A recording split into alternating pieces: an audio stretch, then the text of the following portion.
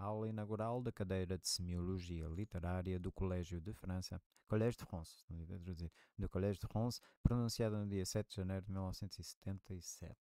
Ok, e isto foi três anos antes dele morrer. Ele tinha já isto, isto é tipo, isto é a consagração da carreira do académico, eu quero chegar assim ao topo. Então, ele tem, ele dá, isto é o discurso que ele apresentou nessa aula inaugurar, i- inaugural, que é um, uma- um ritual comum no Collège de France. Então, chama-se, o título original é Leçon, Leçon, lição. E pronto, está aqui o texto. Hum. Este volume recolhe o texto da aula inaugural da cadeira de Semiologia Literária, lido por Roland Barthes no, colé no Collège de France em 1977, a despeito de sua pequena extensão. Trata-se de um dos textos mais intensos e mais radicais do autor, numa linguagem por sob cuja polidez académica sente-se, constante e latente, uma nota de velada ironia, Barthes denuncia na sua aula inaugural a astuciosa pluralidade do poder, cujo discurso da arrogância não é assumido apenas pelos porta-vozes do sistema, mas se inscreve, proteico e ineradicável, no próprio mecanismo da língua.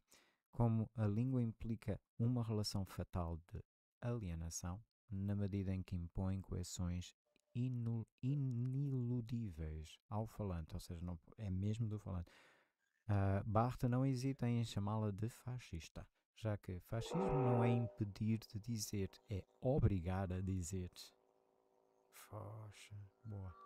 Para ele, Uau! só a literatura pode ouvir, pode fazer ouvir a língua fora do poder, por ser o lugar de eleição das forças de liberdade, quando mais não fosse pelo exercício daquela função utópica que ela sempre escolheu exercer. O facto dela poder produzir ficção, não é? Literatura, dá-lhe uma liberdade que de facto outros textos não têm.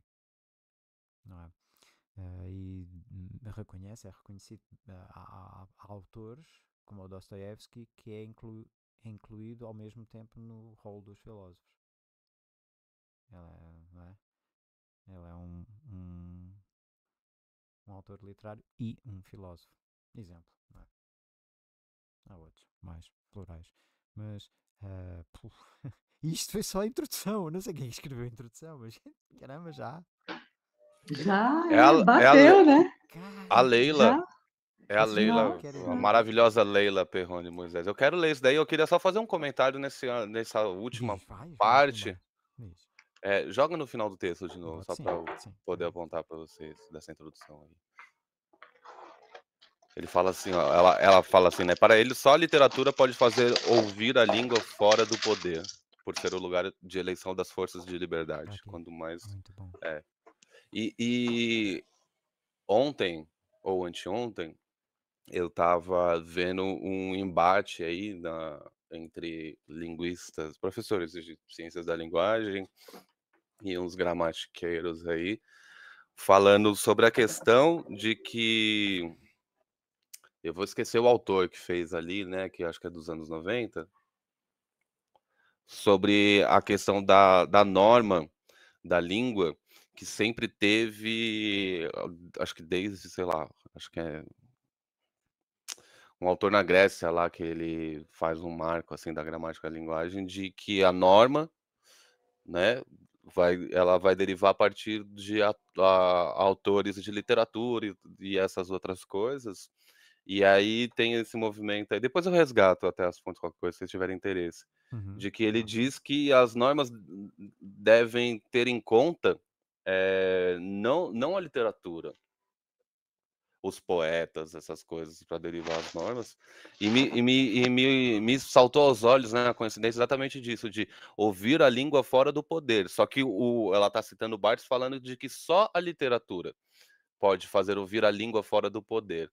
E aí o- o- eles falam que para derivar a norma é, é mais interessante ouvir a produção acadêmica e jornalística, não os poetas e as pessoas que fazem literatura, porque eles vão cantores, vão torcer. É, isso, a música, os cantores, então. E eu achei muito interessante essa premissa. Tá na minha filinha para dar uma lida melhor do que, que eles derivaram, porque veja, é, talvez é um retrato, um raio-x, assim, né? Da, da, da Parole, assim, né, exercendo a, a questão da Lang ali, o, até uma questão democrática das normas, né, da linguagem, de você transpor esse tipo de coisa, assim, né, de ouvir a língua fora do poder da literatura, né, digamos assim, fora do poder, assim, né, que é normalmente de, de uma coisa mais da elite, né, vai derivar com as coisas. É, eu não é, sei se eu concordo com isso, não. Tem muitos conflitos mas, é, Cecília, partilhando o, o, uh, o, ponto do Gustavo é interessante, sim, porque. Sim. Não, eu não, eu não sei se eu concordo com a, com a autora da introdução. Ah, ok, ok. Mas uh, eu digo, eu estava aqui a corresponder ao do Gustavo no sentido uhum. de, de, dizer, Gustavo, para mim parece uh, bem, bem, bem interessante o que estás a dizer. Uh, de uhum. facto, e acaba por acontecer isso que tu descreveste, sim. Acaba por ser um discurso de elite. Tudo, esta, a diacronia é óbvia. Houve um tempo em que os livros custavam mais do que hoje custa um carro. os livros eram obras únicas. tinham de ser copiados uhum. à mão. Né? Por mais que o cara escravizasse gente, a capacidade de produção disso, né? a capacidade de reprodução era, era pouca. Além do mais, levar as coisas de um lugar para o outro, que exigia nisso, fisicamente tinha de ser transportada a cópia de um lugar para o outro. Era é incrível, tarefa, né? Exato, era uma tarefa difícil e perigosa. É. Tem aquela cena sim, daquele filme, o nome, o nome da Rosa, Exato, que tem aqueles monges, né, que escreviam, transcreviam os livros, né? Isso, exato. Esse, esse, esse é um livro, olha, uma obra excelente. É do Humberto Eco, que é um é académico é excelente. É, assim, o nome da Rosa. É um filme maravilhoso, é um livro incrível. É Eu preciso compartilhar com vocês um documentário que saiu. É... Partilha, esses documentários é bom, cara. É, é sobre, é sobre o. Eu não, não terminei de assistir, eu vi o início, assim, né? E hum. sobre a biblioteca ali do Eco, do Humberto Eco. Isso ia ser bem interessante. Ah, é? O que, que ela andava a ler? O que, que ela andava ler? E, nossa, não, só, só a sala eu achei maravilhoso ali, né? Porque tem tipo a nata da sala dele de antiguidades, né, ali, né. Aí, lá logo no ah. começo, né, eles estão falando aqui, aqui é só a sessão de hermetismo, aqui é só a questão Poxa, nem do ocorreu, claro. Claro. Que incrível. As coisas só do Athanasius Kish, assim, né, o cara tinha as ele a quantidade de material, aquela biblioteca dele ali, eu vou te falar, assim, deve Manda, manda. É... é legal partilhar isso. Ah, sim, sim, e foi mó difícil de achar, porque esses documentários de arte que passa só em festival, eu falei, não, eu, eu, eu é impossível Sério? que alguém Só não pirateou isso daqui. Oba. Não, não, não, é, não. Alguém achei um aqueles blogs de cinéfilo, assim, do pessoal que curte filme cult. Na galera de Espanha, eu falei, pô, que massa. Eu ia assistir um pedaço e esqueci. Foi bom da gente até ter colocado.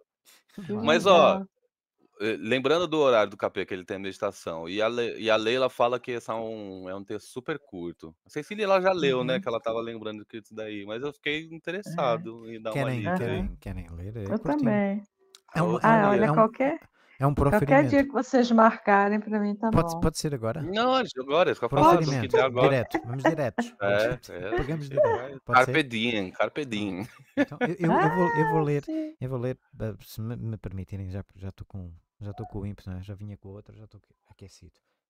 Eu deveria Bora. começar por interrogar-me acerca das razões que inclinaram o Collège de France a receber um sujeito incerto, no qual cada atributo é, de certo modo, imediatamente com, combatido por seu contrário.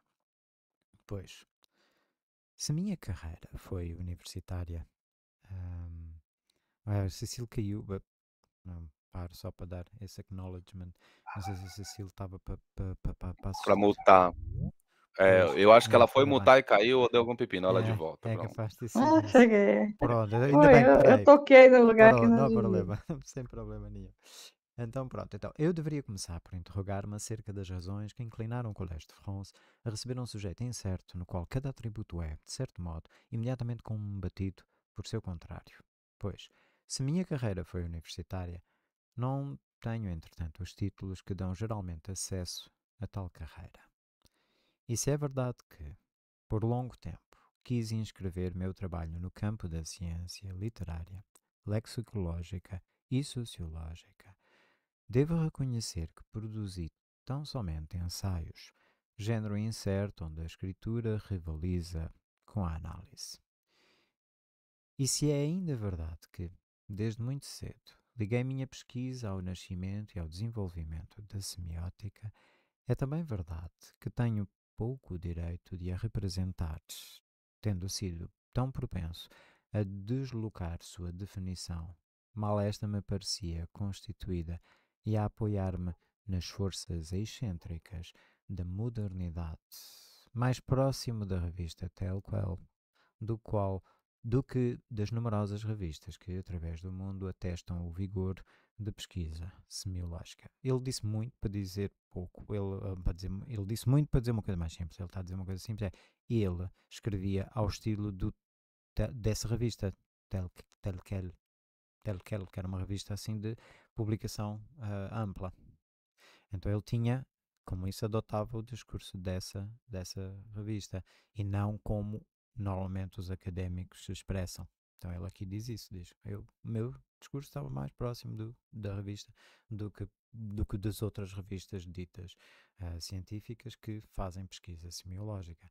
É, pois, manifestamente um sujeito impuro que se acolhe numa casa onde reinam a ciência, o saber, rigor e invenção disciplinada. impuro. Foi ele que disse, ok? Foi ele que disse. É um sujeito impuro. Assim sendo, quer por prudência, quer por aquela disposição que me leva frequentemente a sair de um embaraço intelectual por uma interrogação dirigida a meu prazer, desviar-me-ei das razões que levaram o Collège de France a acolher-me, pois elas são incertas a meus olhos e direi aquelas que, para mim, fazem de minha entrada neste lugar uma alegria mais do que uma honra. Pois a honra pode ser imerecida, a alegria nunca o é. Ah, olha aí! Eu já tinha lido sobre né, críticos, críticos não, críticos no sentido mais generoso da palavra, que descrevem o, precisamente o Barthes como um hedonista, não é? Ah, questão do prazer, ele está aqui dirigido ao meu prazer, não é? Está aqui, está grande, ele escreve períodos muito longos, mas, mas está aqui, também dirigido ao meu prazer, e ele tem essa alegria né, de ter prazer. A alegria é de reencontrar aqui a lembrança ou a presença de autores que amo e que ensinaram ou ensinam no Colégio de France. Primeiramente, é claro, Michelet, a quem devo a descoberta, desde a origem de minha vida intelectual, do lugar soberano da história entre as ciências antropológicas e da força da escritura, desde que o saber aceite por ela comprometer-se. Em seguida, mais perto de nós, Jean Barrosi e Paul Valéry, cujos cursos segui aqui mesmo quando era adolescente. Ai, caramba, o cara poder adolescente já estar a frequentar o colégio de Rance. Eu estava eu tava exatamente nessa, assim. Eu falava, oh, coisa cara, boa, hein? Como o cara não havia de ser bom, meu. O cara estava no colégio de França adolescente com esse a, a assistir aulas do Paul Valéry. Valéry, é isso que é nessa que eu falei, desde adolescente. Depois, mais perto ainda, Maurice Merleau-Ponty e Émile Bonveniste. Olha aqui os cursos, quer dizer, Uau, Maurice uau. Merleau-Ponty e Emile Bonveniste. E quanto ao presente, permitam-me abrir uma exceção. Na descrição com que a amizade deve mantê-los inominados, Michel Foucault, a quem sou ligado por afeição, solidariedade intelectual e gratidão, pois foi ele quem se dispôs a ap apresentar à Assembleia dos Professores esta cadeira e seu titular. Tchau! Olha Uau, uau. aí, olha My aí. God. Que currículo! Poxa, o Michel Foucault disse: botem, o- botem o Barthes lá, não tem como errar. Cadeira de semiótica, primeiro professor, Barthes. Portanto, cara. Uma outra alegria me vem hoje, mais grave porque sou, porque mais responsável, adentrar num lugar que pode ser dito rigorosamente fora do poder. Pois, se me é permitido interpretar, por minha vez, o colégio, direi que, na ordem das instituições, ele é como uma das últimas astúcias da história. A honra é geralmente uma sobra do poder. Aqui ela é a sua subtração, sua parte intocada. O professor não tem aqui outra atividade senão a de pesquisar e de falar. Eu diria prazerosamente de sonhar alto sua pesquisa. Olha aí, Cecília, está a ver o momento da aula. A sonhar alto a sua pesquisa. Eu vou terminar esse livro em depressão. Próximo. Por quê? Eu pensei, olha, como é que a Cecília fica tão triste quando eu estou tão entusiasmado? o que é que aconteceu? Não, é porque quando você compara essa situação com a nossa aqui, ah, é, ah, a diferença é muito grande. Entendi, entendi. Mas eu estava eu tava mais a admirar a Cecília pôde fazer isso. Eu, na minha, como bem a minha imaginação logo foi, e a Cecília teve 30 anos e isto, uma sala de aulas com gente interessante. Meu, gente interessante não é os caras que têm aulas só com X grande. Gente interessante é gente nova que que se engaja. Não, é verdade, é, é verdade. Mas é porque esse contexto aí é imbatível. É verdade, o contexto aí é verdade. E, e eu, eu queria só comentar uma coisa que me passou aqui, até porque um pouco atrás ele diz ali, né, no, no começo, me lembrou Sócrates, né? E aí ele traz agora, ele, falando do colégio, ele é como uma das últimas astúcias da história. Talvez a gente entenda meio história, assim, num sentido mais mais baixo, mas é, eu acho que ele está falando nitidamente sobre história do que significa no grego mesmo historiar, que é a, a coisa da investigação, assim, né? Exato, da, da, exato. É, exato. uma das últimas astúcias da história, assim com, com H maiúsculo ainda, eu acho que é bem nesse ponto que é. deve que a gente sabe que é a natureza total ali do colégio. Né?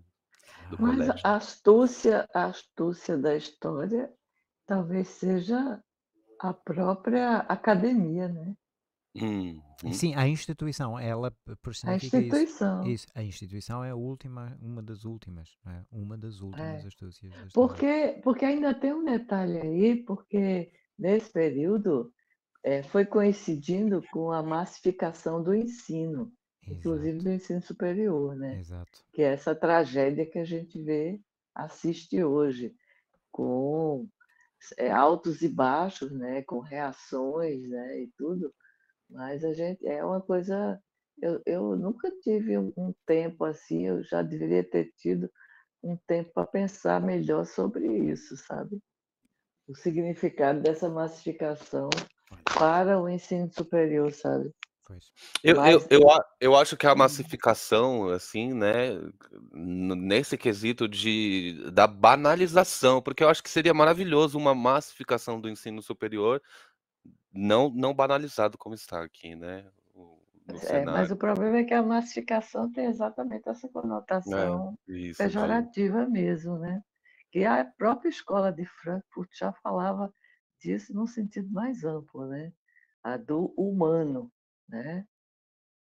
Até aquele risco da desumanização, alienação total. e toda aquela história. Isso é total. Aí eu acho que é, é, é isso, isso, que ele está falando tem um sentido profundo mesmo, sabe? Uhum, uhum. Último bastião, assim, sabe? Total. Eu concordo. Com, Não é? Concordo com a Cecília. Concordo isso... tanto. O meu entusiasmo é. Eu concordo tanto que é, acho que é precisamente isso que ele está dizendo aqui.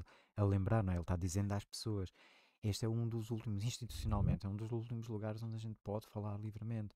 Ele, na continuação, ele diz: não de julgar, não é? Bem, aqui, o professor não tem aqui outra atividade senão a de pesquisar e de falar. Eu diria prazerosamente sonhar algo de sua pesquisa.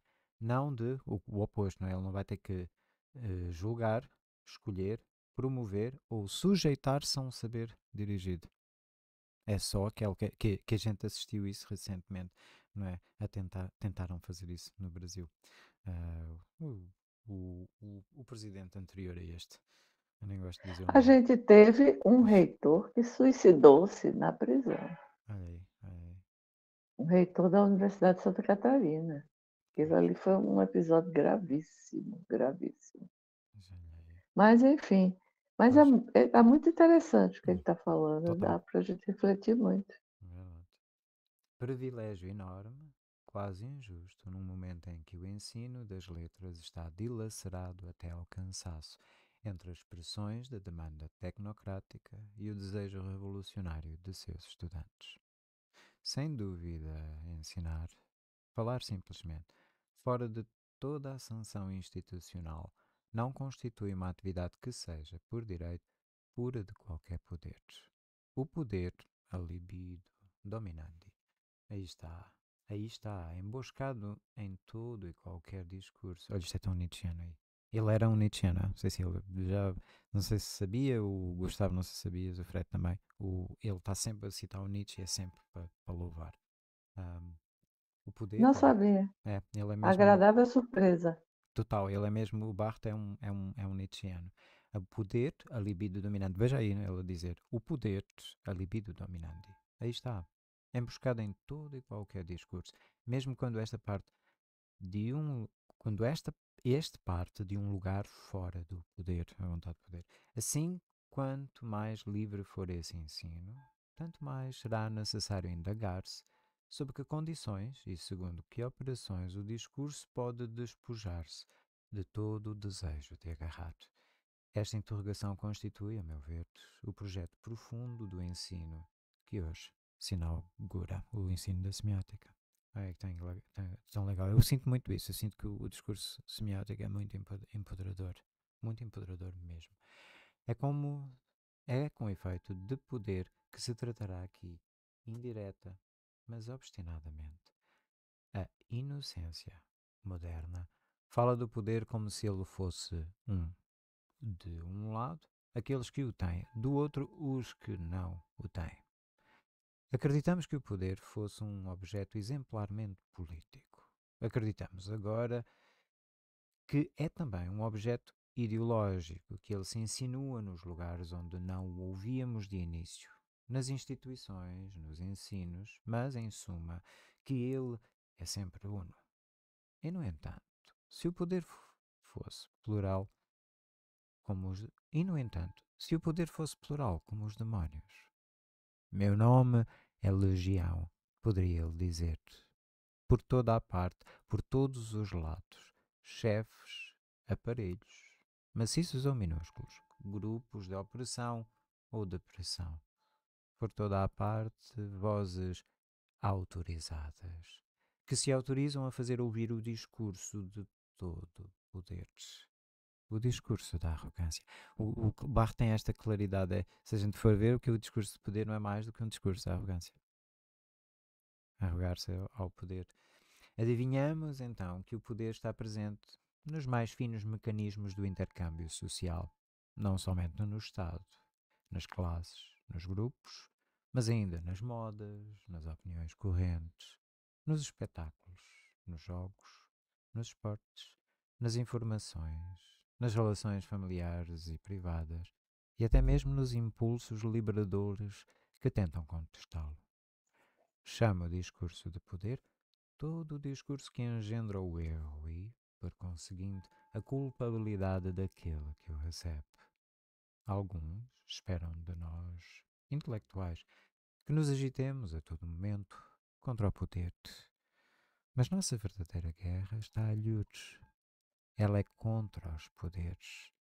E não é um combate fácil, pois, plural, no espaço social, o poder é, simetricamente, perpétuo no tempo histórico. Outra vez unidos. Expulso, extenuado aqui, ele reaparece ali. Nunca aparece. Façam uma revolução para destruí-lo, ele vai imediatamente reviver, regerminar no novo estado de coisas. A razão dessa resistência é dessa ubiquidade. A razão dessa resistência e dessa ubiquidade é que o poder é o parasita de um organismo transsocial, ligado à história inteira do homem e não somente à sua história política histórica. Esse objeto em que se inscreve o poder, desde toda a eternidade humana, é a linguagem. ou, para ser mais preciso, sua expressão obrigatória, a língua.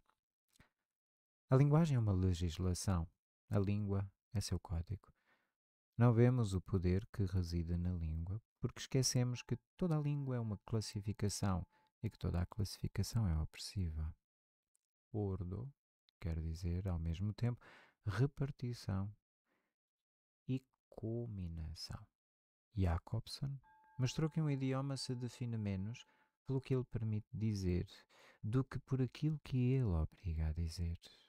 Em nossa língua francesa, e esses são exemplos grosseiros, vejo-me distrito a colocar-me primeiramente como sujeito, antes de enunciar a ação que, desde então, será apenas meu atributo. O que faço não é mais do que a consequência e a consecução do que eu sou.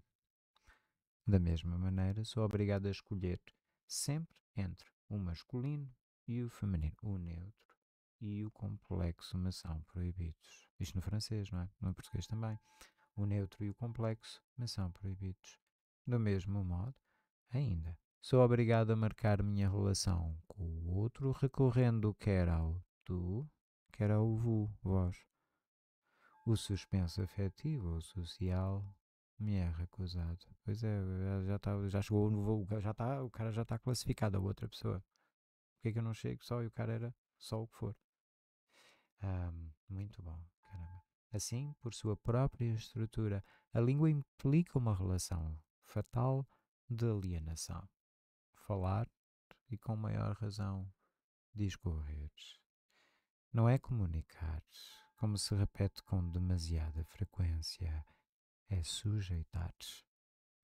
Toda a língua é uma reição generalizada. Poxa, olha aí uma coisa tão nietzscheana, não é? Quem, quem sabe mesmo nisso, por favor, corrija. Eu estou a dar um salto aqui. Eu, eu, só faço conexão porque sei que ele, uh, ele de fato, é muita admiração. Eu não entendi bem essa palavra, reição. É, tu, tu, uh, uh, bem, eu tinha que ver no francês também. Eu como interpretei reição, reição.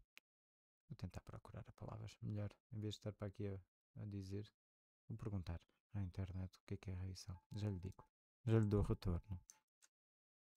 É uma boa pergunta, de fato, fez bem em apontar. Reição. Escrever. À espera da resposta. Será que vem de rei? Dominação. Apareceu.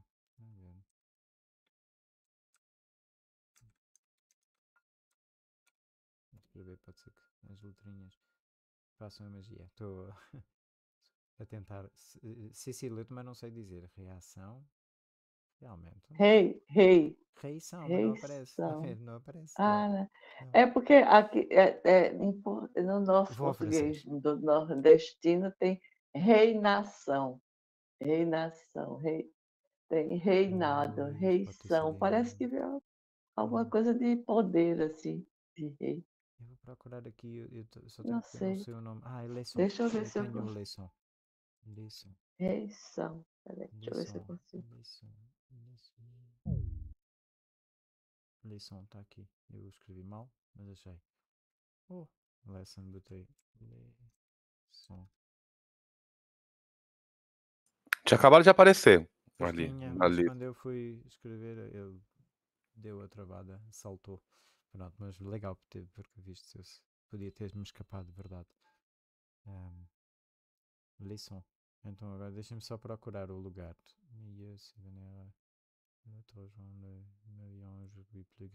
Nós estamos mais perto daqui. Um, deixem-me só consultar o português. Nós estamos a falar, discorrer ao final do parágrafo. Frequência sujeitar.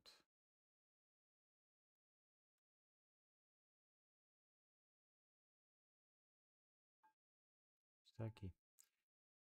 La langue, la langue, é na legislação. Re, rection, rection. Caramba! Ah, em português. eu sou muito bem para. Reação. Aqui diz reação, o tradutor. Eu botei no tradutor automático, vocês devem estar a ver, não é? Eu vou botar aqui no inglês. Eu acho que tá, tá equivocado. Eu acho que reição tem a ver com co coisificação, sabe? Pois, eu também interpretei assim, confesso-te já. Porque ele tá falando ali da Cada um questão de do sujeito. nós percebeu de uma forma. Exato, e agora como é que eu vou saber? Eu vou, eu vou perguntar, eu vou fazer o truque que eu agora faço. O Eu meu vou, aqui aparece reinação. eu vou botar aqui e perguntar, vou pedir ao, ao Copilot, que é o GPT-4, vou pedir para ele traduzir. É, eu tenho aqui um método rápido para, para, para fazer, é só o tempo do site.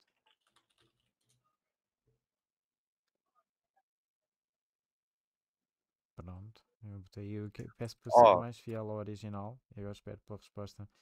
mas a a Cecília a Cecília tá ali também, quando ela pegou a palavra reição, no latim, que talvez deve Aqui ser diz reação, muito ele, olha, ele disse reação outra vez. Não, é é rection, né, é é rec rection, né. E aí ele tá trazendo talvez um equívoco com reaction, né.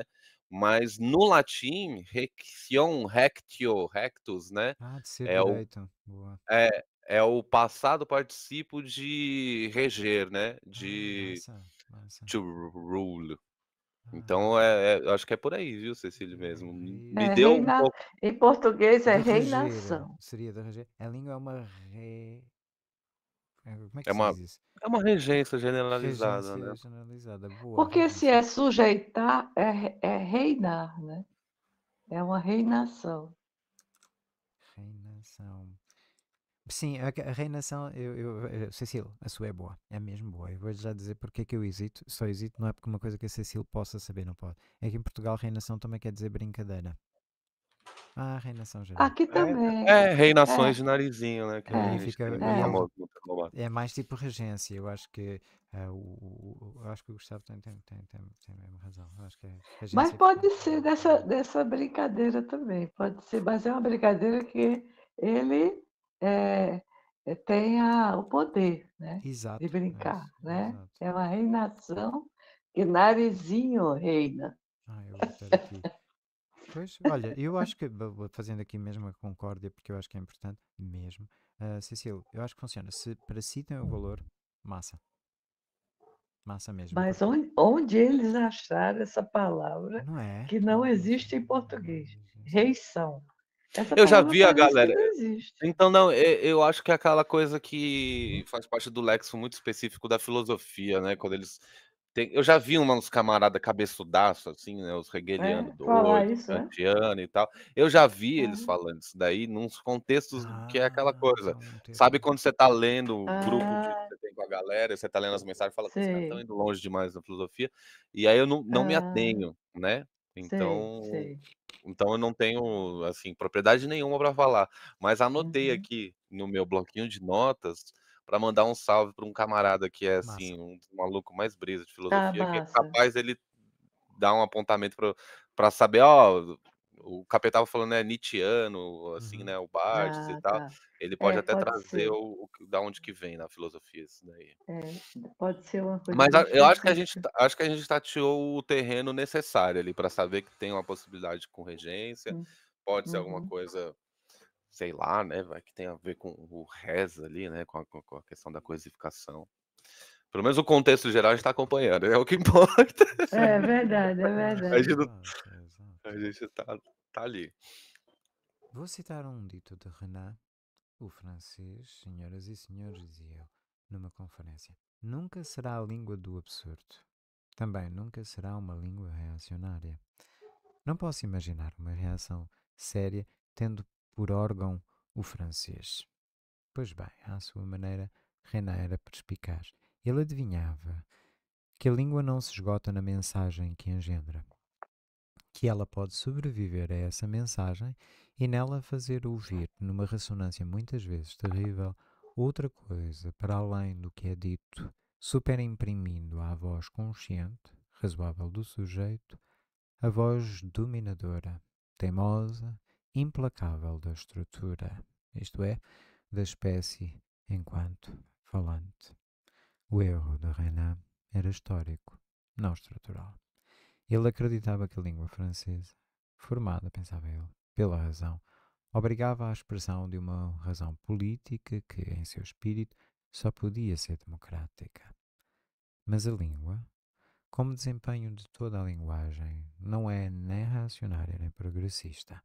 Ela é simplesmente fascista. Pois o fascismo não é impedir de dizer, é obrigar a dizer. Assim que ela é proferida, mesmo que na intimidade mais profunda do sujeito, a língua entra em serviço de um poder. Nela, infalivelmente, duas rubricas se delineiam: a autoridade da asserção, o gregarismo da repetição. Por um lado, a língua é imediatamente assertiva. A negação, a dúvida, a possibilidade, a suspensão de julgamento requerem operadores particulares que são eles próprios retomados num jogo de máscaras linguageiras. O que os linguistas chamam de modalidade nunca é mais do que o suplemento da língua, aquilo através de que, como uma súplica, tento dobrar seu poder implacável de constatação. Por outro lado, os signos de que a língua é feita, os signos só existem na medida em que são reconhecidos, isto é, na medida em que se repetem. O signo é seguidor, gregário. Em cada signo dorme este monstro, um estereótipo. Nunca posso falar senão recolhendo aquilo que se arrasta na língua. Assim que enuncio, essas duas rubricas se juntam em mim. Sou ao mesmo tempo mestre e escravo. Não me contento com o repetir o que foi dito, com alojar-me confortavelmente na servidão dos signos. Digo, afirmo, assento o que repito. O Gustavo botou aqui, Cecília, joguei aqui num tradutor e erection foi traduzido como direção. Aí num dicionário topei o seguinte, rection, propriedade ou rection, propriedade do verbo propriedade do verbo de ser acompanhado por um complemento direto ou indireto. Então tem uma definição até bastante precisa. Propriedade do verbo ser acompanhado de um é essa coisa assim de, de gramatical, né? Tá, tá, tá, tá, tá, tem de vir. Tem é, uma direção. Uma... A gente vai ver das possibilidades, né? É. Mas, mas vai, vai dar no mesmo lugar. De novo, é essa regência, regência gramatical. Ah, ah, ah, ah. A estrutura funciona assim. Tens de botar na mesma estrutura. Está a ver? Agora é a estrutura a impor, a policiar, a dizer. Tá aqui. É. E cabe até também a coisificação, né? Que a gente tinha subentendido ali também, né? Porque é o caminho, né? Tá, vai, vai vir aqui uma coisa, né? A gente tá sempre a coisificar, né? Na fala, do que ele tava hum. dizendo ali um pouco antes. Então, Mas era só para só para aproveitar no quente aqui, que enquanto eu ia ouvindo, eu abri uma, uma abinha aqui, eu falei, deixa eu ver se eu acho uma definição desse negócio que atenda. Ajuda, ajuda sim. É, eu acho que ele está nessa reflexão, né, de, de de poder e submissão, e... sujeição. Né? Eu, eu tenho aqui uma, eu já estou a ver que eu vou pegar briga sem querer. Eu não quero pegar mesmo, mas eu sinto assim que o Bart aqui, eu sinto, e o Bart sabe mais, sabia mais, muito mais que eu, num sentido próprio. Mas eu, como nós acabamos de ler o, o Saussure, me parece que há um salto dado aqui que de fato está lá, eu, eu, que não, não está a rigor, não está absolutamente eh, presa à língua. Pode estar, pode estar. Há muitas possibilidades de estar. O Barthes identificou muitas, é verdade. Mas por outro lado, como nós vi, acabamos de ler o sussurro, nós vemos que tem a ver com a própria estrutura da língua. Porque a língua, a estrutura precisa disso, é porque a, a estrutura deriva do arbitrário como já parte do arbitrário precisa de ter essa limitação, caso contrário todo o, toda a estrutura colapsa. Uh, o exemplo dos, dos fonemas, não é? dos sons, o, o que faz com que a gente o que faz o valor, o que dá valor ao som, àquele som, àquela materialidade, é, é o, o, contraste, o ser diferente de outra, qualquer. E é sempre esta diferencialidade porque é necessária, decorre, é uma, é uma decorrência necessária da arbitrariedade. E isso é tão importante porque em absoluto, o que impera é essa arbitrariedade. E então não há essa necessidade de poder que a data aí não tem de estar lá. Eu acho que. Ela pode ser eu acho que, mas não tem de estar. Eu, Eu acho que obrigatoriamente está, porque não sei, a minha perce aqui é a minha leitura, né, minha opinião do que eu estou sentindo por enquanto no Saussure e do mínimo que eu conheço, assim, dei uma lida desses outros caras, me parece que o Saussure, com a proposta dele de sincronia da língua, ele ele estava dissecando o morto. Mesmo que ele chega e aponta um monte de coisa, assim, ele tá analisando a língua como um ente morto, e a galera que veio depois dele falou assim: "Tá bom, você acertou muito, mas o social, o mecanismo de poder, todas essas coisas, elas estão tão imbricadas na língua, a gente vai estudar ela agora, não o cadáver, mas a sincronia do espírito que habita nela mesmo, assim, eu vejo os movimentos disso. Eu peguei esses dias, assim, e o o o Pierre Bourdieu, ele ele tem lá, ele tem um que eu quero depois até propor pra gente, eu só folheei, assim, né, que tem o Language and Symbolic Power, do Pierre Bourdieu, de 91, que me parece que ele aponta essas coisas. Faz faz sentido, Capê, pensar Faz, assim desse jeito? faz. É, eu estava Faz porque isso Tá. é é o é no vai e vem no no vai e vem Acho do tentar sim. entender. Sim, no vai e vem do É. tentar entender. Eu eu vou e e percebo o que tu estás a dizer mesmo, no sentido que como é que eu posso excluir esse eh, isso que já precedeu antes e que já estava a fazer a coisa acontecer? Então, eu não posso excluir, a rigor não posso. Está sempre em cena, sempre em jogo, né, voltando ao que estava Eu falando mais faço eu faço uma jogada sussurriana, porque é jogada no bom sentido. Faço a jogada sussurriana, verdade, mas isso é na diacronia. E ela é muito poderosa. A diacronia, eu devo dizer, é uma diacronia assim daquelas. Hum, tem valor, tem muito valor. Ma- mas a rigor, a, rigor, não, não gosto. Dito de uma maneira mais, me parece, é que. Não, faz muito sentido mesmo isso. De que só pela diacronia há um entendimento disso, porque tem uma demanda de fluxo, né, de vamos colocar assim, né, de marés, assim, né, de dessa dessa coisa. Mas mas aí aí aí que eu essa, acho que de impor essa estrutura causa e efeito, causa e efeito, que não é, é, não é errada, é que faz parte da história. A história tem que ser causa e efeito. Isto fez aquilo, É, isto fez aquilo, isto fez é. aquilo. Então ela precisa, para ser história, ela precisa da estrutura. Então, quando a gente está a olhar do ponto de vista da estrutura, isso é que escapa a muita gente, é quando a gente olha da perspectiva da estrutura, a gente sai de diacronia. É, mas ao mesmo tempo, não sei se eu vou Hum. uh, reforçar alguma coisa assim Uhum. Equivocadamente, mas ao mesmo tempo você vai para o morto, não para o vivo. Você vai mais para o morto tens do que para o razão. Eita, você agora chegou no ponto, Gustavo. Eu É. estava rindo aqui, eu estava rindo aqui sozinha. Eu estava pensando assim, se, se o fosse médico, ele seria legista. E- Oi! Tá bom, eu vou aceitar. Por porque quê? É, porque você está. Porque já está tudo ali dado e, e você não quer saber do que aconteceu depois. né? O que aconteceu, aliás, antes, né? A diacronia. Então, Exato, exato. é o legista, ele está ali para saber, pá, tá assim, a situação é essa. sabe? Tenho que Então- refletir mais, mas gostei, a imagem é poderosa e muito boa. É, é como, como aquela de deixa aí É ao- o ao- ao morto, né? É o morto, é que não se mexe seja mais. assim. Como essa senhora fez agora. Está aí, isso é verdade. Mas, mas não deixa de, não deixa de ter importância. Minha, minha nora é médica legista, entendeu? Hum. Então é muito importante, né? Você, a sincronia né, é extremamente importante. Mas a diacronia ela se insinua a todo momento, né? E é muito difícil deixar de vê-la. Eu né? posso, eu vou, eu vou arriscar isto, vai dar bagunça, mas eu vou dizer há a Ah, haver livre-arbítrio. Está na sincronicidade. Porque precisamente sempre que a gente olha do, do ponto de vista da diacronia, fica assim a coisa toda bagunçada. Fica. De fato, Uhum. todo mundo, hum, acho, que- acho que todo mundo, eu acho que posso incluir assim, pelo menos uma enorme maioria, está sujeito a essas forças todas. Não é como se a pessoa estivesse livre para poder sequer dizer o que quer. uhum, Se ela nem ela sabe, é? vamos dizer, a rigor, ela sabe o uhum. que quer, então como é que ela vai poder dizer? Então a estrutura, todas, todas essas forças acabam por contribuir.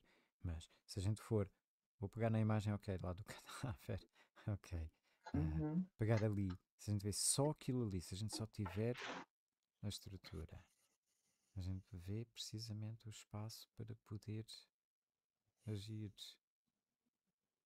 sair fora. Porque agora sim a gente vê a estrutura.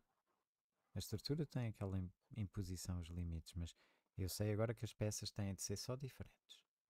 E aquilo que aparentemente a história diz é assim, de repente eu sei que é só o contraste, posso começar a jogar com os contrastes. E a gente vê, os, os poetas fazem isso com muita mestria. Os poetas pegam numa palavra, jogam, por exemplo, a palavra no lugar totalmente inusitado, fora da sequência habitual que a gente espera. Eu vou comer essa empada. Não. ah, boa. Que o latim já fazia. O latim, o latim já tinha mais essa estrutura, permitia essa estrutura. Mas a gente vê os poetas a fazer, a tomar essas liberdades e como o Barthes tinha falado antes na literatura, a gente vê que é esse espaço também de liberdade. A literatura acaba por ser o lugar onde se sai fora do poder. Desse poder. E se sai, pronto. Se calhar assim, um bocado como olhando para a coisa como um logista, sem querer saber da história. Como no momento do jogo, da jogada em si, porque acho que isso depois acaba porque a diacronia traz essa ilusão de que a cada instante a história está lá sempre. Sempre, mas a cada instante o que está é o espaço de total possibilidade. Claro, dentro dos limites da estrutura. Claro que dentro dos limites da estrutura. Claro que é influenciado pela estrutura. Mas está aí, não é? Está aí o espaço da liberdade. Porra, foi ótima essa, hein, caralho. Perfeito. Foi muito boa. Foi, foi. Eu agora estava à espera de bombar. Não, não, assim, Não, já, não. a fazer a meditação da bomba, do bombar, porque eu faço já uma meditação especial, tipo, deixei as histórias todas. É, foi... Então, é, o, o Bombá tem essa coisa, assim, né, de que o... a gente não consegue ter o imediato e eu vou. a outra coincidência. Ontem, antes de dormir, eu estava vendo uns, uns reels de um comediante novo que eu tinha acabado de topar, que eu achei muito bom. E ele disse o seguinte: ele falou assim, eu gostaria que as pessoas tivessem a- o, o pinto, a, a- bilola na testa, porque quando eu tô, porque quando eu tô, porque quando eu tô fazendo ali o, o- o stand-up e tudo mais, é, a reac- o que tá passando por dentro da galera, né? não- Isso aqui sou eu falando um monte de coisa, né? Ele só coloca essa imagem. Eu queria que as pessoas tivessem o pinto na testa, porque se eu visse o povo de pau duro ali no negócio, eu ia entender. Exato, exato. É escrachado, é escrachado, né? Mas é um pouco isso. que Porque o bombado, às vezes você fala o que vocês acham, e tá todo mundo ali, né? Tipo, porque você trouxe umas coisas que a coisa em si tava fazendo um sentido, tá boa, a gente tá processando. Uhum. Aquilo remeteu a gente para um monte de outras imagens, outras coisas, né? Tem um Uhum. tempo lógico. Verdade. Eu, eu, me- eu me limitei só a, em vez de deixar o silêncio, talvez pelo eco do que a gente tinha falado, eu só mandei, o porra, isso foi muito bom, valeu, tá ligado? Porque em si tava bom e remeteu aqui a muita coisa. é eu, eu devo reconhecer, é bom, é, porque a gente fica às vezes a discutir eh, e, as- todas as discussões acabam por ser interessantes, mas há exaustão. A questão do livre-arbítrio, isso é para existir, está Uhum. precisamente aí. Quando a gente sai fora da história, a gente tem a possibilidade de sair fora da estrutura. Oh, de repente o cara aparece onde não, a gente não estava à espera que fosse aparecer. Eu, eu tenho descrito assim, mas usem a imaginação, talvez sejam mais criativos quando, como quando eram crianças. Imaginem mesmo assim. É como se o cara saísse, está tá à frente do cara, de repente está nas costas dele. Inte- intelectualmente, porque se o cara não está a seguir a estrutura, para onde é que ele foi? A estrutura leva para o caminho. A estrutura diz o princípio, meio e fim.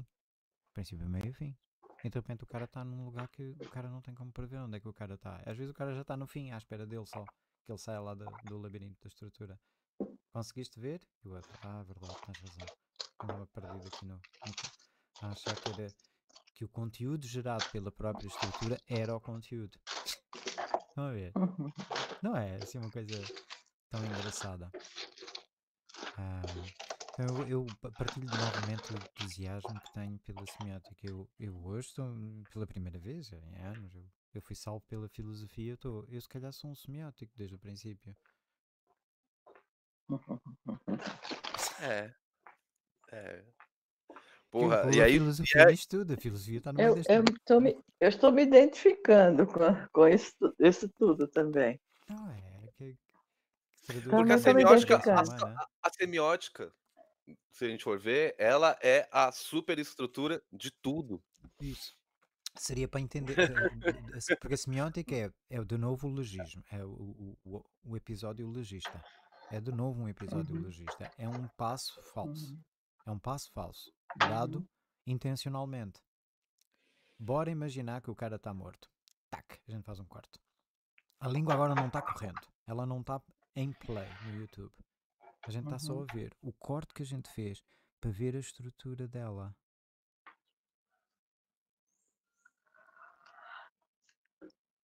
Eu fiquei pensando nessa questão do, do corte, de que muito importante isso, ela não é o fluxo. E o fluxo é. Isso. Ela é, ela, a Cecília tem razão, o médico legista tem razão, é uma boa imagem. Bora é, é, é, é, eu gostei, eu gostei, eu gostei muito dessa imagem, porque em seguida para mim veio o seguinte, né, do médico legista, é isso, né? Entender de anatomia, todas as coisas assim, tal, é primordial.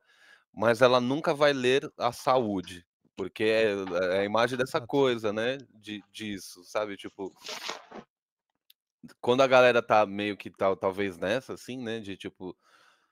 É, eu acho que o Socir fez. E, e, foi engraçado porque. Olha que movimento curioso, né? O, o Socir, ele atesta nas cartas e todas as coisas. É, eu preciso parar de fazer o que eu amo, da, da diacronia, de ficar estudando essas paradas, e vou falar disso.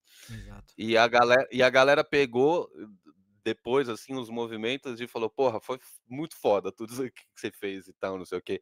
A gente, não, não só na, na questão de, tipo, a gente vai agora parar, da, sair da sincronia e voltar a fazer diacronia. A gente vai pegar as duas coisas em paralelo também. A gente vai elaborar dessa, dessa pausa, né? Dessa coisa anatômica, talvez, né? Biológica e tudo que você está fazendo.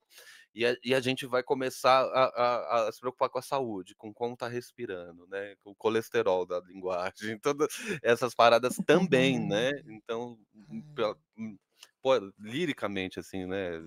Pobremente, liricamente jogando, me, para, me sinto esse movimento da semiologia, da semiótica, das ciências da linguagem acontecendo, com o uhum. estruturalismo e todas as coisas, né? É, especialmente no que você tem no movimento ali dos franceses, né? A, a correndo ali, tudo, os pós-estruturalistas, pegando a questão do poder, pegando ideologias e todas essas coisas que o Saussure fez a escolha mesmo porque era, ela é ele. Ele falou, vamos, vamos, vamos às, às bases, né? Isso. Me parece que era até uma coisa assim de eu quero estudar todos os ossos e os principais órgãos. Olha, Apenas. Ótima visão. Tem muito isso, é, porque é, a imagem de Cecília também se aplica bem à maneira como o Saussure vê ali a, a língua, né? Tipo, o corte radical. Talvez o Saussure como um ortopedista. ortopedista? Por quê? Se, se fosse, O orto da coisa, assim, né? A ordem. A estrutura. A estrutura, né? Sabe? Os ossos é que mantém o corpo em pé. Isso, sabe? Ali a questão. Ah, agora se não pensaste assim, porque eu continuo a achar que o trabalho dele é de um anatomista, como tu disseste antes. É um anatomista. Não, mas eu, eu, eu, só for, eu só forcei um pouco porque eu não quis colocar ele englobando. Não, não, é legal. Eu, eu acho que. ah, é engraçado. Eu acho que a tua imagem, a segunda, não foi tão feliz por a simples razão de que ela já tem aquele valor, não é? O ortopedista, felizmente existem, não é? Os ortopedistas vão ajudar as pessoas a corrigir e a sanar e ele nunca tem essa. Não pode, não é? Ele tá ah, sim, não. Ele, é, ele não está a mudar nada, ele está só a olhar ver como é. É assim. A uhum. máquina tá aberta tá à nossa frente. E a Cecília, a imagem é porque o, o corpo não tinha pensado nisso, porque a engenharia reversa que a gente usa aqui tem a vantagem de botar a coisa meio maquinal. É? Tipo, fica ali, tipo, a gente desmonta um relógio e nunca sente assim como se estivesse a abrir um cadáver. Mas a imagem da Cecília é poderosa porque a língua não é um, a língua, a língua mesmo, la langue, não é uma uh, não é uma coisa, não é uma máquina, não é uma máquina, não é um, uhum. não é um simples não. objeto, um relógio a funcionar, tem vida. E nisso a Cecília tem razão, foi uma imagem muito mais justa. É um episódio logista. Poxa. A gente pode elaborar depois. Ó, ó, já se, se, juntar os três, a gente publica um artigo, viu? eu queria só fazer, eu queria fazer uma pergunta para vocês. Hum. Pode ser até meio boba assim a pergunta, mas como é que vocês veem a diferença, eh, de filologia para semiótica? Queres arriscar, Gustavo? Eu quero. É, a, a, a, filologia, eu acho que ela vai ter muito uma questão pela base dos registros. Acho que dá para transpor quase toda essa imagem na filologia, né? Eles vão, vão, vão fazer muito esse esse paralelo do registro do logos da coisa mesmo, assim, e tudo. E a semiótica vai vai pegar o o, o, o, a pneuma, o espírito sempre da, da, do além disso, né, das estruturas ali da semiótica, porque a filologia ela é muito comparada. Eu não manjo nada de filologia, assim, né? A gente começou a ler o Vilamovitz ali, é, mas ela, ela tem vários mecanismos, estruturas que eu acho que ela não chega a adentrar no terreno da semiótica que uhum. vai funcionar no, no universal, né? Os caras vão pegar ali naquele contexto, certos cenários geográficos, movimentos que estão acontecendo, assim, né? O, corpo dos classicistas ali, né? Em especial e tal. E, e é muito pelo registro, pelos manuscritos, pela pela, pelas diacronias da língua, o que estava rolando naquele cenário, quais eram as forças filosóficas, religiosas e tal. É Circunstâncias. Uhum, isso, circunstancial e tudo, pelo pelo, assim, né, pelo pelas fotografias, pelos imprints, É pelos mais diacrônico. Mais diacrônica, total. Isso, totalmente. Eu eu acho que é assim Porque eu estou escolhendo a minha profissão para a próxima encarnação e estou entre filologia e semiótica.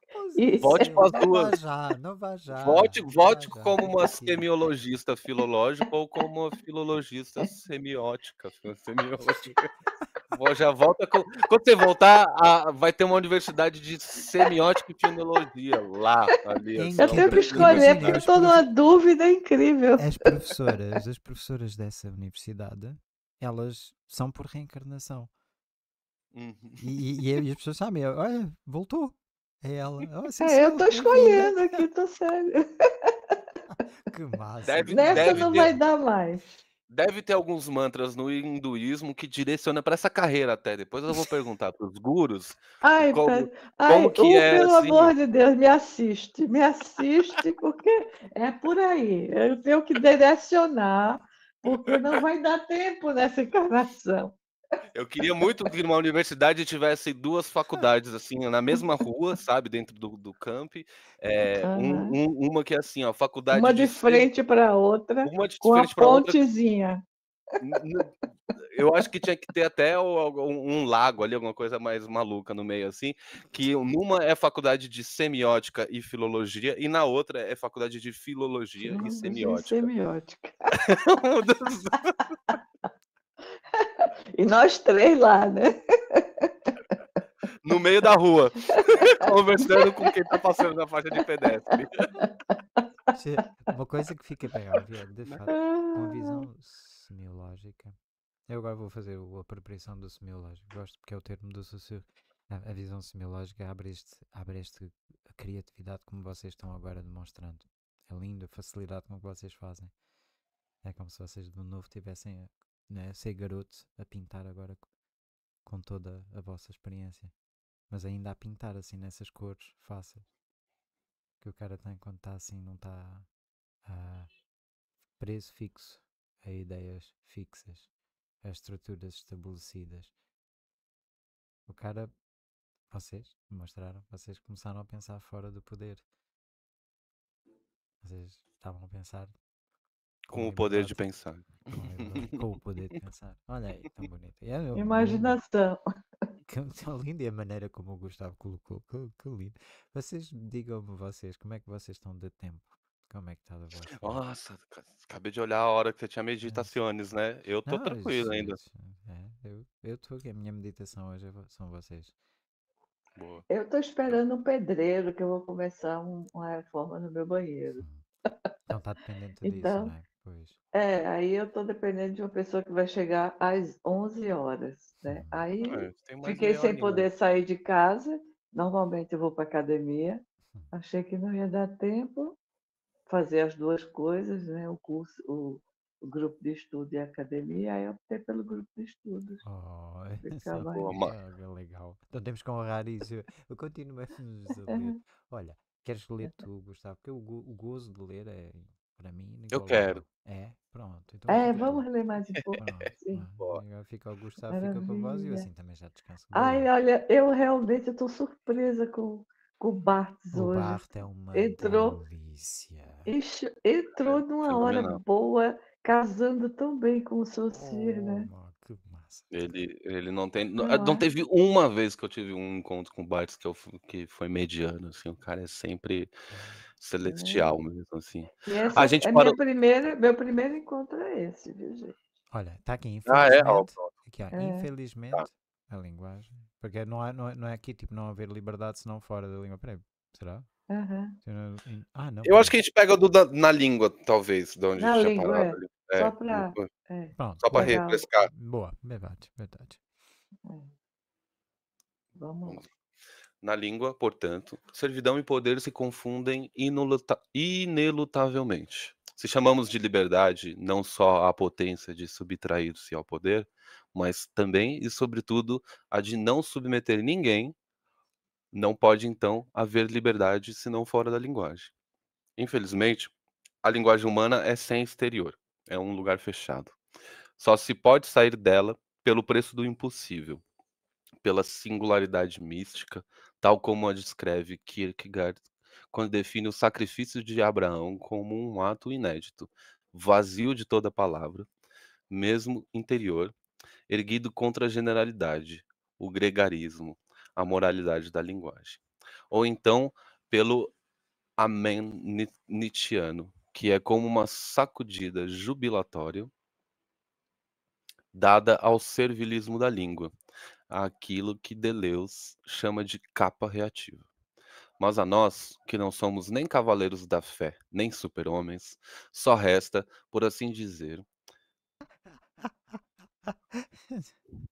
É mais o jeito com que ele botou. Ele não é nem super-homem, nem no, nem, no, nem no clube do Nietzsche, nem lá do, dos outros.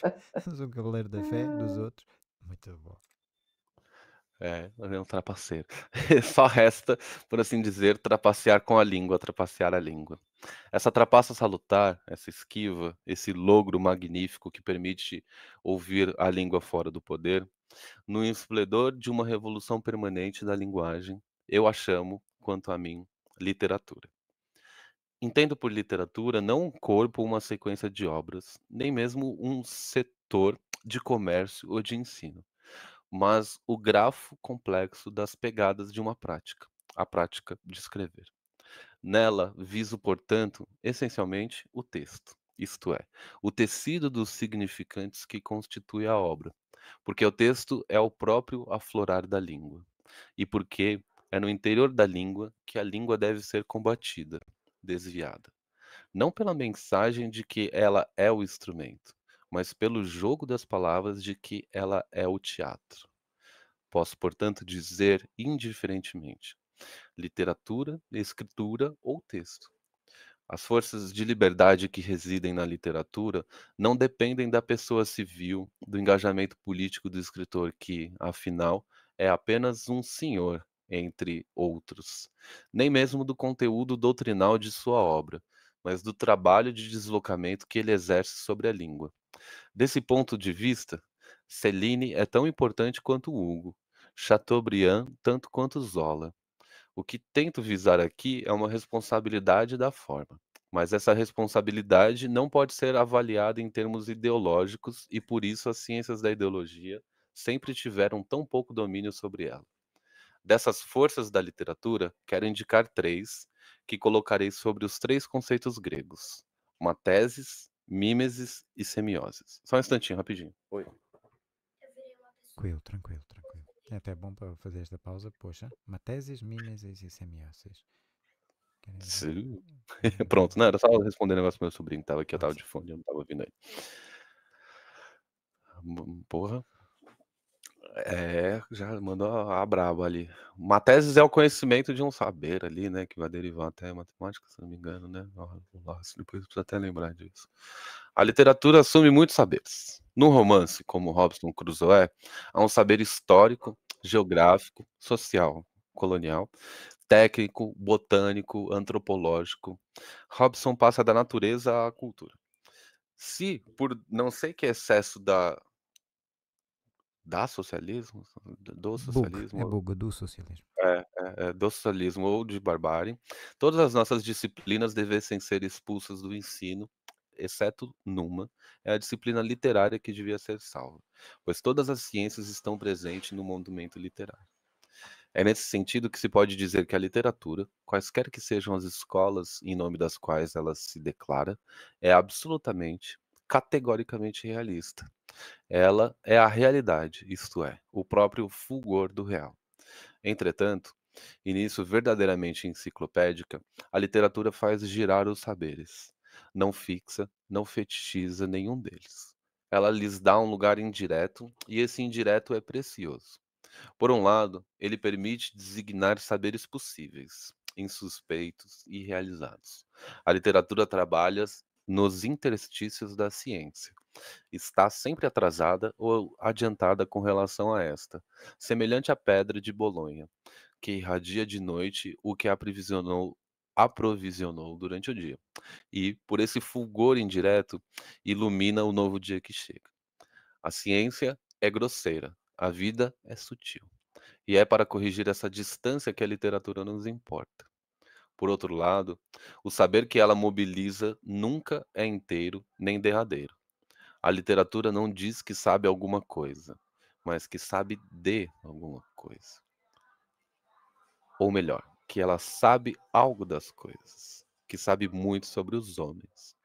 O que ela conhece dos homens é o que se poderia chamar de grande estrago da linguagem, que eles trabalham e que os trabalha. Quer ela reproduza a diversidade dos socioletos, quer a partir dessa diversidade, cujo dilaceramento ela ressente.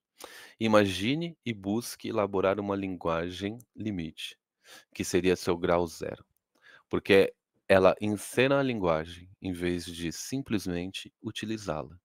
A literatura engrena o saber no rolamento da reflexividade infinita. Através da escritura, o saber reflete incessantemente sobre o saber, segundo um discurso que não é mais epistemológico, mas dramático. E É de bom aí, tom. legal. Um Porra. que não é mais epistemológico, mas dramático. Isto é tão bom, até mesmo pensado, pen- pen- lembrando que Platão era um grande escritor. Caramba, pronto. Sim, era diálogo dramático filosófico, né, essencialmente que ele fazia, pelo menos eu acho que até alguns autores postulavam assim, né. Não tenho E uma lembrança. recentemente, né, os existencialistas faziam isso. Pois, é isso, verdade, um bom, É. bom exemplo, um exemplo poderoso, muito poderoso. E depois também tem o, o, o trabalho do Derrida e da escola, não é? De- desses pós-estruturalistas, que pegam precisamente nisso, não é? Saem vendo no próprio texto, no, no próprio ato de escrever, tudo aquilo que acabam por derivar. Uhum, ma- massa, todas as coisas estão assim. É, é.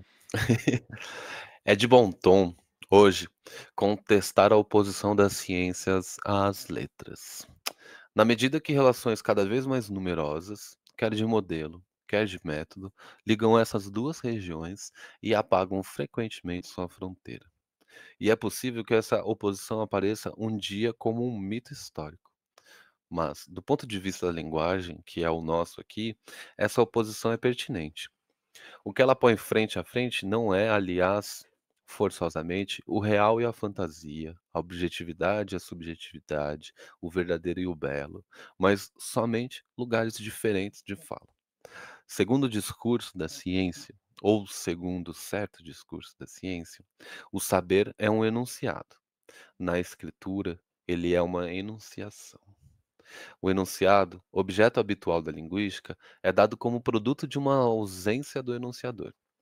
A enunciação, por sua vez, expondo o lugar e a energia do sujeito, quiçá sua falta, que não é sua ausência, visa o próprio real da linguagem. Ela reconhece que a língua é um imenso halo de implicações, de efeitos, de repercussões, de voltas, de rodeios, de redentes.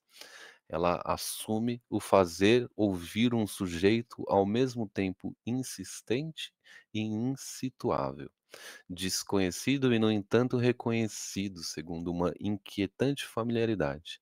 As palavras não são mais concebidas ilusoriamente como simples instrumentos. São lançadas como projeções, explosões, vibrações, maquinarias, sabores. A escritura faz do saber uma festa.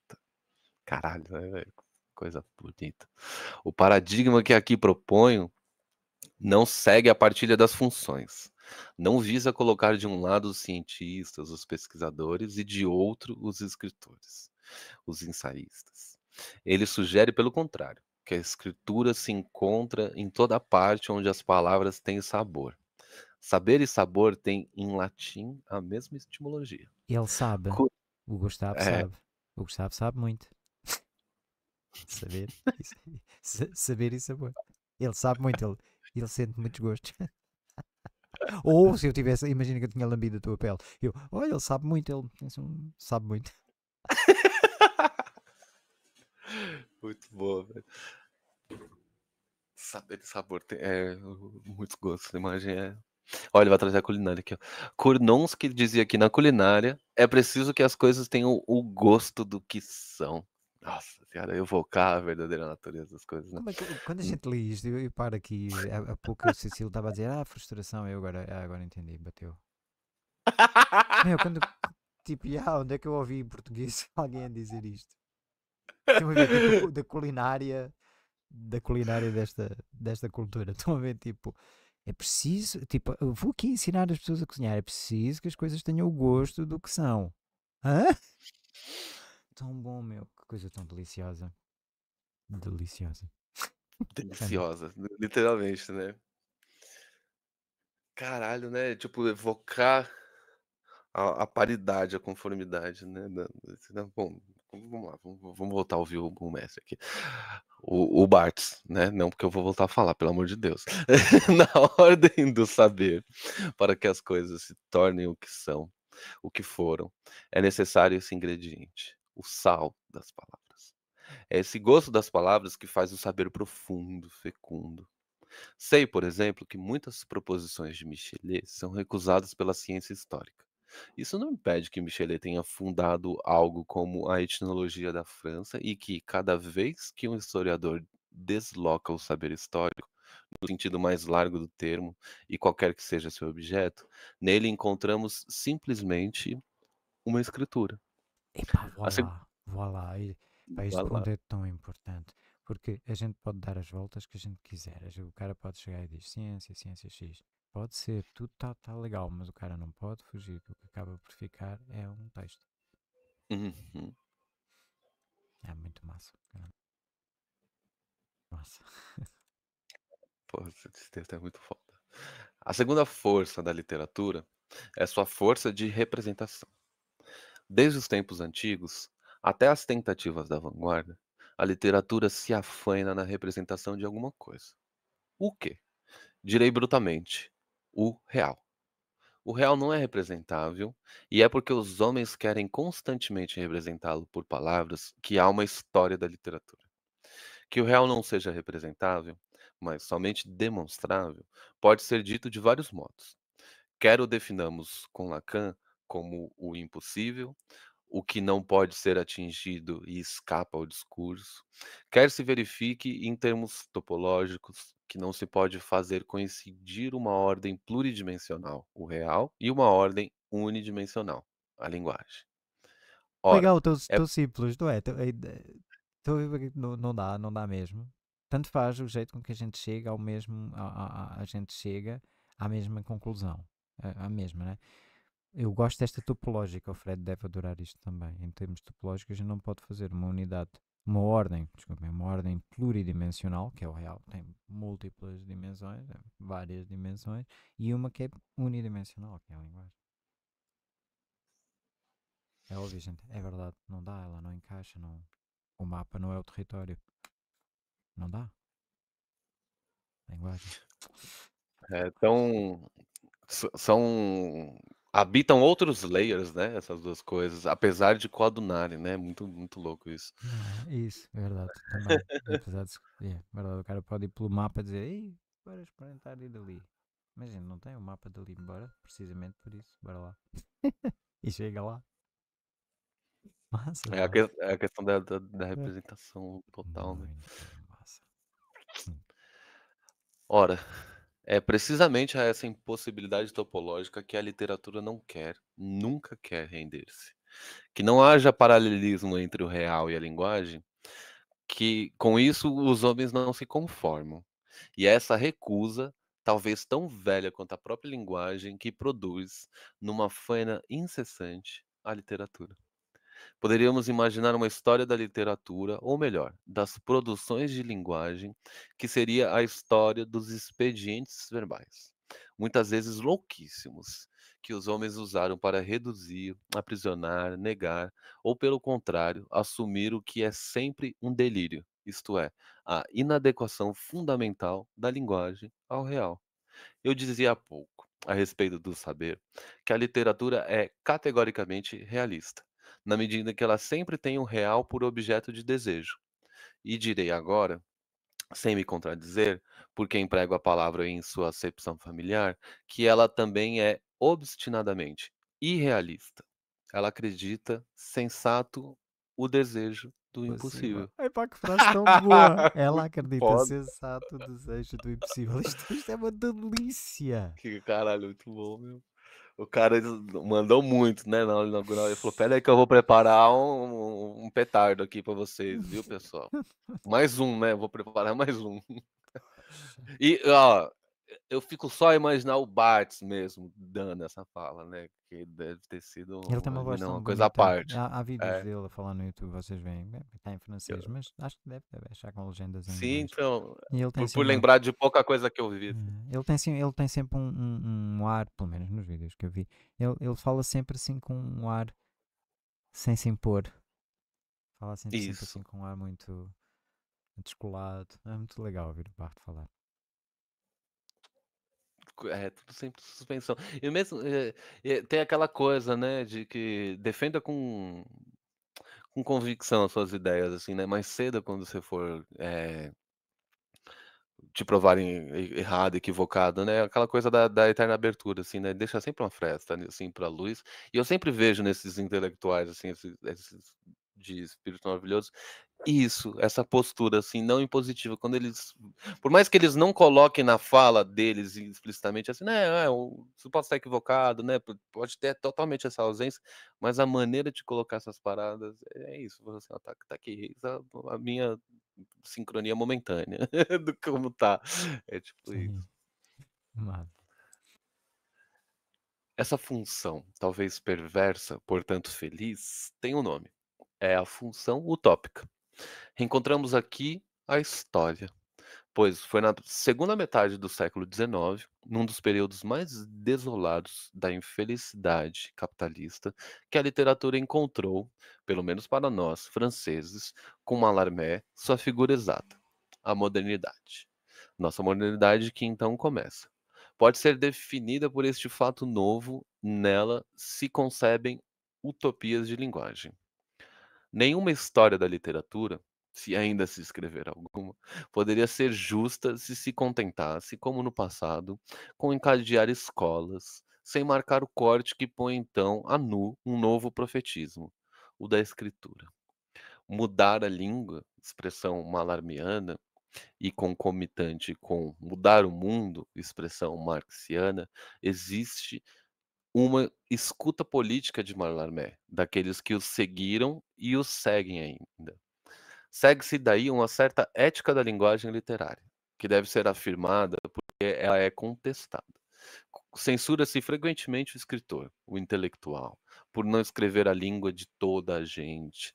Mas é bom que os homens, no interior de um mesmo idioma, para nós o francês, tenham várias línguas.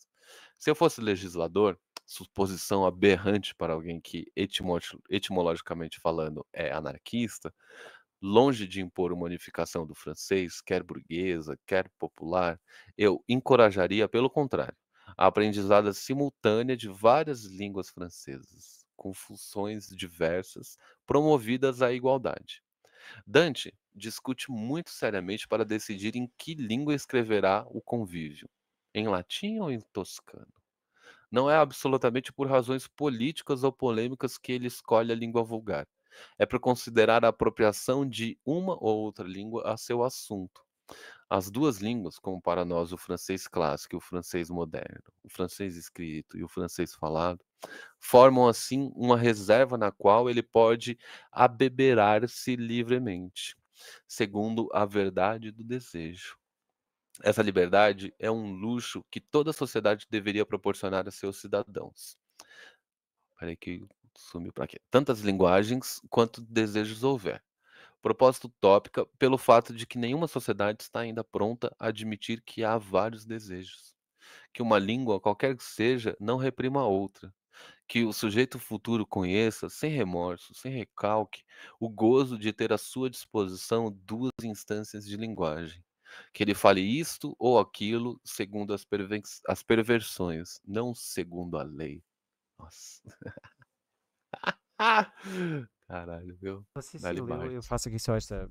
Faço aqui este pequeno remate. Este, Cecília, a questão do sujeito de linguagem e do sujeito como a Cecília entende, o sujeito filosófico, né?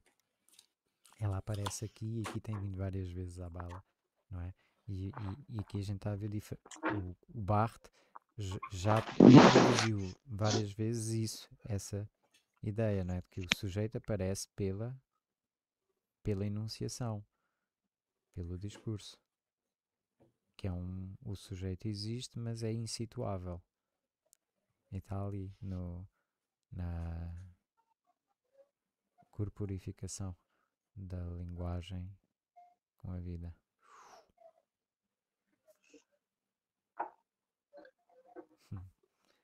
Muito legal. É um discurso pós-metafísico intenso. Total, total, total, total. E yeah, tem razão. Valeu. Tomás, é. Quer, quer ler um pouco, Capê? Pode ser, pode ser. Boa. Tá Valeu. A utopia, é claro, não preserva do poder a utopia da língua. Aqui umas pontuações que não existiam. A utopia, é claro, não preserva do poder. A utopia da língua é recuperada como língua da utopia, que é um género como qualquer outro. Poder-se dizer, pode-se dizer que nenhum dos escritores que partiram de um combate assaz solitário contra o poder da língua pôde ou pode evitar ser recuperado por ele, quer sob a forma póstuma de uma inscrição na cultura oficial, quer sob a forma presente de uma moda que impõe sua imagem e lhe prescreve a conformidade com aquilo que dele se espera. Não há outra saída para esse autor senão o deslocamento, ou a teimosia, ou os dois ao mesmo tempo. Teimar quer dizer afirmar o irredutível da literatura, o que, nela, resiste e sobrevive aos discursos tipificados que a cercam, as filosofias, as ciências, as psicologias. Desculpem, eu faço aqui a pausa. É isso mesmo, eu sinto isto também aqui. Eu sinto isto aqui que ele acabou de, de declarar. As filosofias, as filosofias, as diferentes escolas, e vem um discurso tipificado, o do platónico, o do kantiano, o do hegeliano, o que for, uh, o do deleuziano agir como se ela fosse incomparável e imortal. E imortal. Pronto, muito massa. Literatura sendo a escritura. Não é? Um escritor, entendo por escritor não o mantenedor de uma função ou o servidor de uma arte, mas o sujeito de uma prática. Deve ter a teimosia do espia que se encontra na encruzilhada de todos os outros discursos, em posição trivial com relação à pureza das doutrinas. Trivialis é o atributo etimológico da prostituta que espera na interseção de três caminhos. Porra, essa daí é, é nova pro vocabulário, velho. Nossa, agora eu me confundi. Caramba, trivia. posição trivial fica com, aberto a todas as experiências. Caramba, teimar quer dizer, em suma, manter ao revés e contra tudo a força de uma deriva e de uma espera. E é precisamente porque ela teima que a escritura é levada a deslocar-se.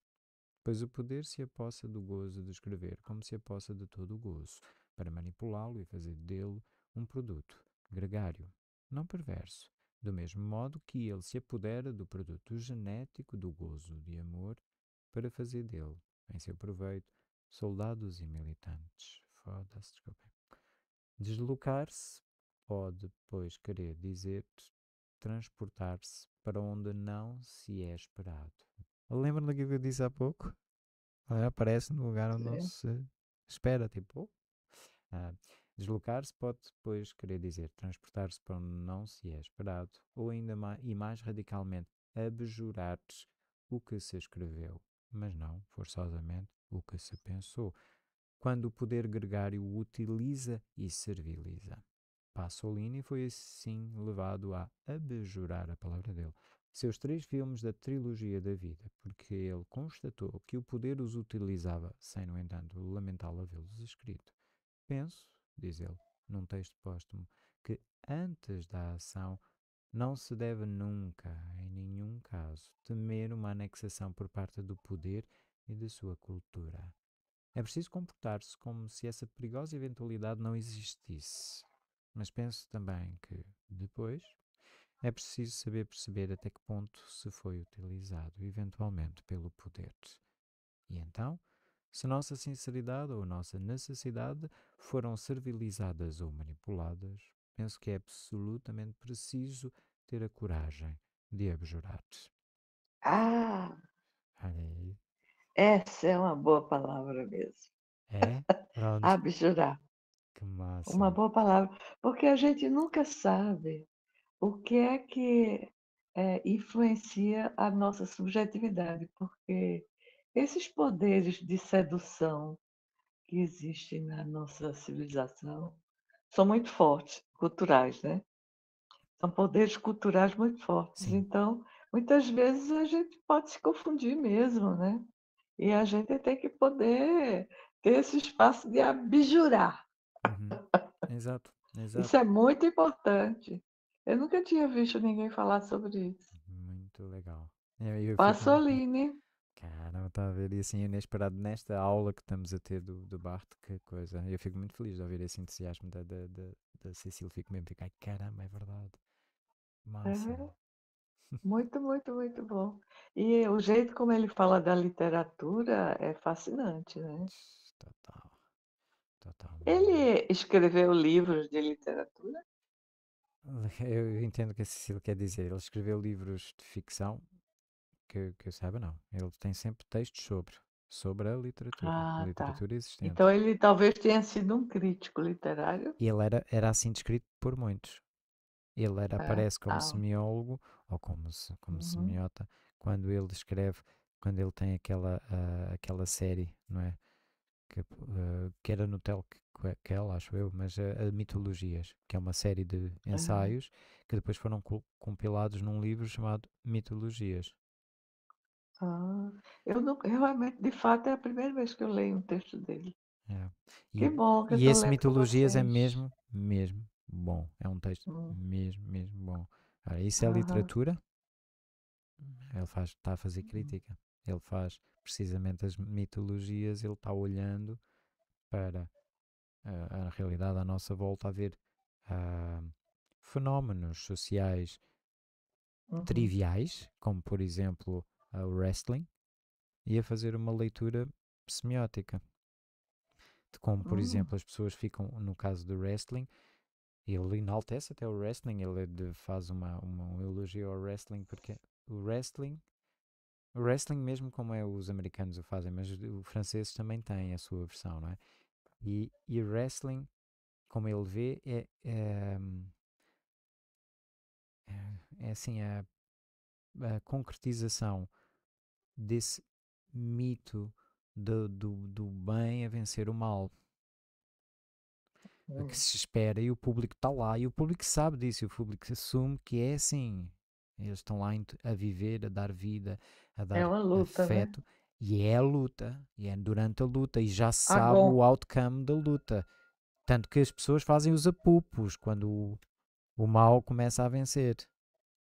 Mas aquilo é toda, não é toda a dramatização dessa estrutura. O bem a hum. lutar contra o mal.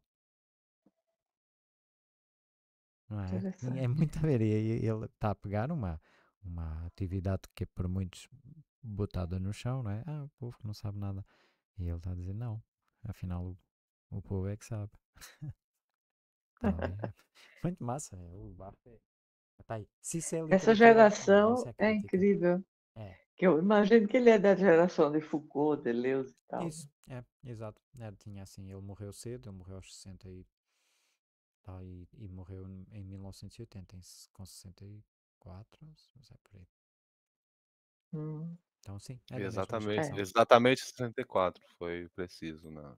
Foi, pronto. Então estão ver. Então ele, ele sim, Cecil é dessa geração. Que geração? Poxa, tem toda a uhum. razão. É. Vejam o tempo, olha, já deu, deu a hora. Cecil é que sabe. Ah, tá. É, é. Eu tenho que esperar que eu, o, a pessoa e eu tenho que me preparar um pouquinho antes dele chegar, tá? Pronto, total. Tem de ser. Pronto. Então eu vou, eu vou ficar aqui e vou aguardar o PDF, porque eu acho que esse aí eu, eu vou, vou, é, vou ler, vou em frente um pouco com ele. E se a gente puder ler juntos, vai ser maravilhoso. Pronto, Cecília, quando tiver Sim. um tempinho, diga que a gente termina. Querem ainda hoje terminar tá. mais tarde?